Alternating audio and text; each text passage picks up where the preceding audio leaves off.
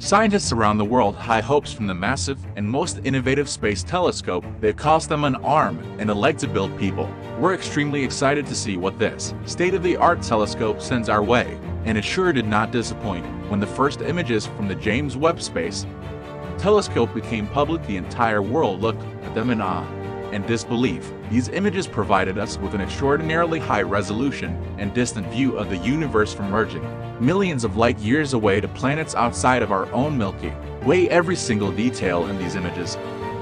fascinated the masses worldwide, however. Even the scientists were baffled by the new and puzzling information. The first batch of data from the James Webb Space Telescope revealed some of it even caused an uproar among the critics of the Big Bang Theory who believe that, as data and these images refuted the concept of the Big Bang and the ever-expanding universe in less than a year,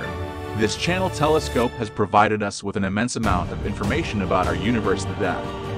has entirely changed the way we look at it and it's only logical data. A